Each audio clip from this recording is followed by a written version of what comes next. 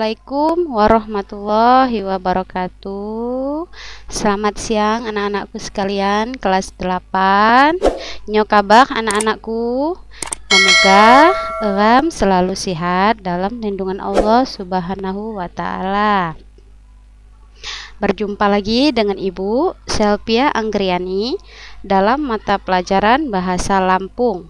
Pada kesempatan hari ini Ibu akan membahas materi kita tentang puisi pepacur. Sebelum Ibu menjelaskan apa itu puisi pepacur, Ibu akan menyebutkan macam-macam puisi Lampung. Puisi Lampung terdiri dari beraneka ragam, di antaranya pepacur, ringget, peturo, bebandung, macah apeng, wayaan, hik-hing hik-hing, pisaan, paradine, dan sebagainya. Puisi-puisi itu diterapkan pada kegunaannya masing-masing, sesuai dengan isi, maksud, dan tujuannya. Pengertian pepacur Pepacur ialah salah satu jenis sastra lisan Lampung berbentuk puisi yang lazim digunakan untuk menyampaikan pesan atau nasihat dalam upacara pemberian gelar adat. Nah, istilah pepacur. Pepacur ini ada tiga ya nak ya istilahnya. Karena uh, bahasa Lampung itu dia memiliki dialek ya. Nah, di sini istilah pepacur, pepacur itu dikenal di lingkungan masyarakat Lampung dialek O. Sedangkan pepacoh dikenal di lingkungan masyarakat Lampung dialek A. Wawa, wawancan. Wawancan dikenal di lingkungan masyarakat Lampung dialek A Saibatin.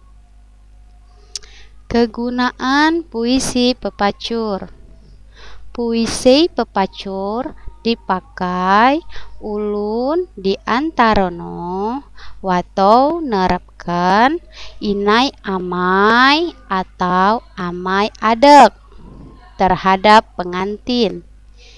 Isei puisi pepacur nandeken cacakan jamo jimosai lagi nikah serta ngejuknyo penawayan-penawayan atau nasihat sai wawai supaya jimo sai apai berkeluarga atau pengantin ijo, pengantin ijo paham dicaro keurikan bermasyarakat dan dapat ngebina keluargano sayan atau terhadap jimoramik. Artinya, puisi pepacur dipakai orang di antaranya waktu nerapkan atau waktu memberi gelar atau panggilan terhadap pengantin. Isi puisi pepacur menandakan panggilan sama orang yang nikah serta memberi dia ajaran atau nasihat yang bagus supaya orang yang baru berkeluarga atau pengantin ini paham dalam cara hidup bermasyarakat dan bisa membina keluarganya sendiri atau terhadap orang ramai. Nah ya. Jadi itu kegunaan pepacur ya nak ya. Kegunaan pepacur itu untuk menasihati pengantin baru ya nak ya. Nah, jadi orang yang berkeluarga ini harus dikasih tahu gimana cara mereka bermasyarakat, cara mereka membawa membina rumah tangganya untuk diri sendiri dan untuk orang lain. Nah, pengguna puisi pepacur. Puisi pepacur sai umumno belako di wilayah Abung, Menggala dan Melinting puisi pepacur ini umumnya berlaku di wilayah Abung, Menggala, dan Melinting. Selanjutnya, ciri puisi pepacur. Jumlah panggetno mak tentu. Wat sai ngisei pak baris lem sepangget. Biasono besaja AB AB. Wat munisai ngisei enam baris sepangget. Biasono besaja ABC ABC. Ciri-ciri puisi pepacur jumlah jumlah baitnya tidak menentu. Ada yang isinya empat baris dalam satu bait, biasanya bersajak AB AB. Ada juga yang isinya enam baris dalam satu bait, biasanya bersajak ABC ABC. Beda amai dan inai. Apa itu beda amai dan inai? Amai ialah cacakan atau panggilan adat yang diberikan keluarga dari pihak Lamo atau saudara laki-laki atau paman dari ibu kita.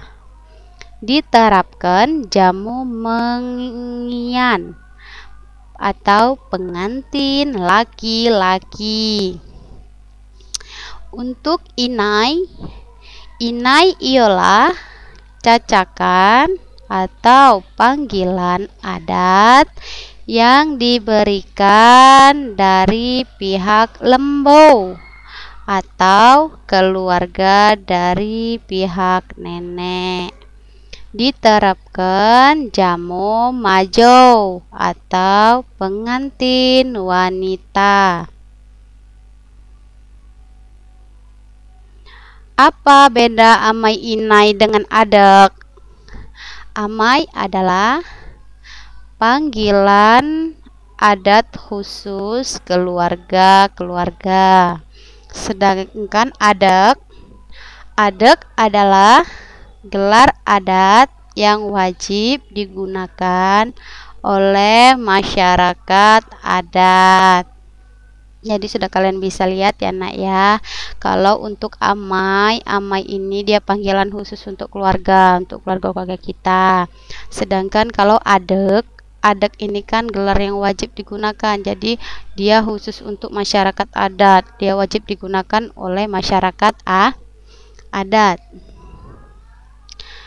fungsi pepacur satu sebagai media penyampaian nasihat atau pesan kedua sebagai media pelestarian budaya Lampung Ketiga, sebagai sarana komunikasi. Keempat, sebagai media hiburan. Baiklah, anak-anakku sekalian. Sampai di sini dulu materi pepacur kita ya, Nak ya. Semoga apa yang Ibu sampaikan bermanfaat untuk kalian dan bisa kalian mengerjakan soal ibu nanti. Jadi nanti soalnya akan ibu kirim lewat grup masing-masing. Silakan kalian tonton dulu video ibu dan jangan lupa like, share dan subscribe.